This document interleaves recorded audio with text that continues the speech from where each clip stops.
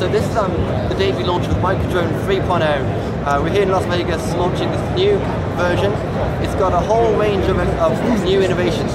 We've got this tiny um, micro gimbal which streams it live and then uses these micro servos when you're flying forward and backwards, it stabilizes it using an accelerometer. The other thing is the live stream, the Dodo case. So you put your iPhone in here, and you stream it live, so you can see FPV, so you can see the footage while you're flying it, and that's really exciting. That works with iPhone and Android, so it streams live footage. And the other thing is the modular snap-on accessories. So one thing you like about a drone is that you can make videos and photos. So we've got three different cameras. We've got a basic camera for 20 bucks, we've got a, a high resolution, and we've got an ultra high resolution which can stream live.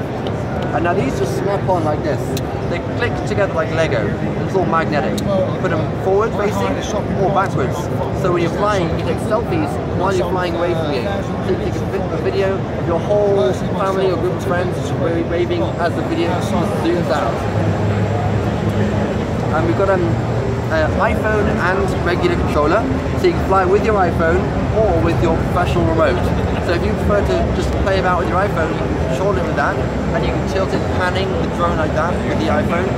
Or you can fly it with a professional remote, and you get a long range of 120 meters, which is about 300 feet. And, and uh, how much does this cost? The drone is $99 and the accessories start from $20 to 65 so it's really affordable, it's a personal drone, it's uh, really stable to fly, easy to control, just pick it up out of the box and it works.